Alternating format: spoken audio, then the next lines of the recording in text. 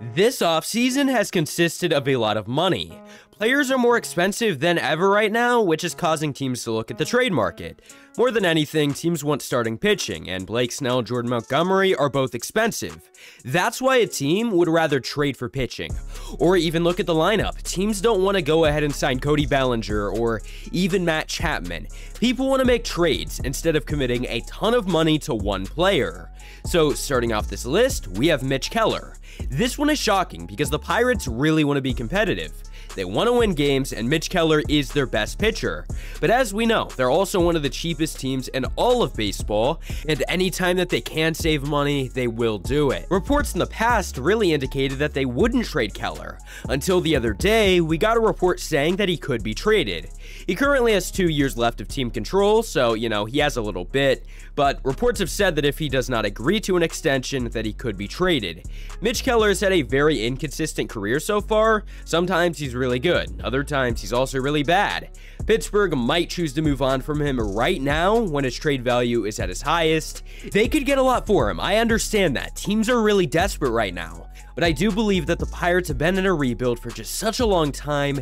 It's time to start winning, and you have to do that with the starting pitching. Don't go and trade away Mitch Keller. It would be a stupid decision.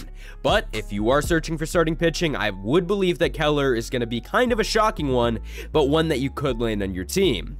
Next up, we have Masataka Yoshida. Now, Boston has been cheap as an ownership over the last few years. Ever since they won the World Series in 2018, the ownership has just shown no care in the world. In fact, the Red Sox are really their last priority as far as the ownership. So they're looking to go and cut more payroll right now so that they could sign free agents. At least that's what they claim. Regardless of barely even touching 200 mil, they are still looking to cut more payroll. Masataka Yoshida was of course signed last year on a 5-year deal worth 105 mil. In his rookie year, he worked out really well, putting together a 289 batting average and 15 homers. By the way, he led the team in batting average. Offensively, he was great. For a first year, he displayed a solid offense. The defense, on the other hand, yes, it was rough. We all know that. Reports have came out saying that they are listening to trade offers with Yoshida.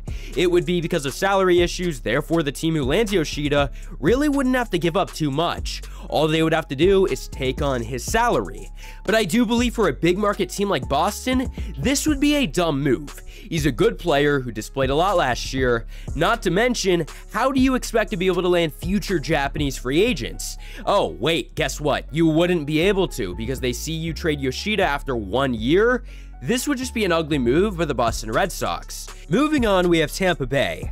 Now, Tampa doesn't want to rebuild, but they definitely want to retool for 2024. This means trading talent, getting back young stars in return. Looking at their 2023 team, Harold Ramirez is a prime trade target. He's only 29 years old. He put together the best season of his career, a 313 batting average, 12 homers, 800 OPS. This was a peak season for Ramirez and the Rays. Tampa wants to move on because he is at his peak value. He only has two years left of team control. They won't extend him, so trading him is their best option. They have young players who are under team control, but for a team that appears to be injury ridden in 2024, I understand why they would make the trade getting rid of Ramirez, go and bring in prospects, go and bring in more young players, and continue the stage of the retool for Tampa. Next up, we have Framber Valdez. Now, Valdez is very interesting because the Astros shouldn't move on from him at all. Again, I understand he has two years of team control left, but he's been so, so good in every single season since 2020. The consistency that he's had isn't something that you could go and find from anyone. I think that Houston knows that. They aren't shopping him, but they are listening to trade offers right now, and I think if that there is a team that can't land starting pitching like Boston or the Orioles, maybe even the Angels, you could see a Framber Valdez trade, simply because they will overpay for a pitcher, and the return for Houston would be real nice, but at the same time, you would be losing Framber Valdez, and that's why I think this trade would be so shocking. The man that you have to give up is Framber. That would just be a lot. Even though you get prospects in return, I doubt that those prospects would be worth it. Going back into Boston for this next one, we have Trevor Story, another guy who apparently has trade interest, and this one would be flat out just stupid for Boston.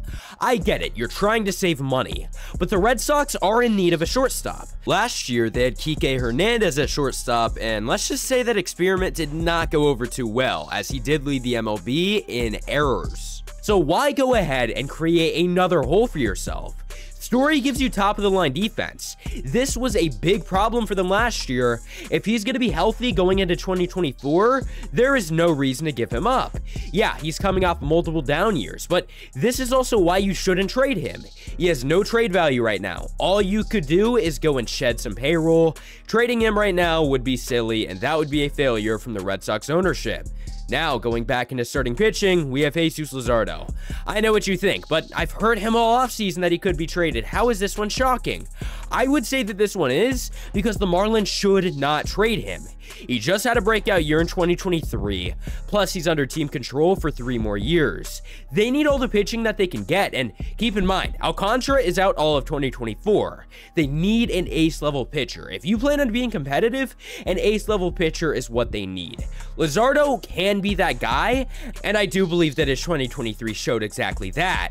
Now, if they did trade him, they'd be getting a very good piece in a trade, so I think that's why this trade could happen.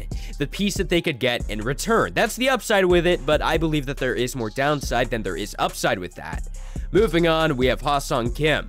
Kim entered MLB back in 2021. This guy broke out big in 2023. I mean, there's no way he should be traded, but reports have indicated that there is a chance he is. He brings so much value to this team. Offensively, good player for the Padres. Defensively, he's a great player. He's also only 28 years old and is under a very cheap deal for 2024. This guy is really good. He's someone I would hang on to. The Padres' reasoning for wanting to move on makes sense. He's coming off of the best season of his entire career career. He's hitting free agency after 2024 as well. I understand why they would do it, but I also don't think it's smart to go and trade such an important piece of the team. Next up, we have Toronto. Now, Toronto could be moving on from someone big. Vladimir Guerrero Jr. Coming up in 2019, he's always been viewed as a big deal. He had a breakout 2021, hitting 311 and putting up 48 homers. This guy was 22 years old doing what he did. In 2022, he was a good player, but it definitely wasn't as good as his 2021.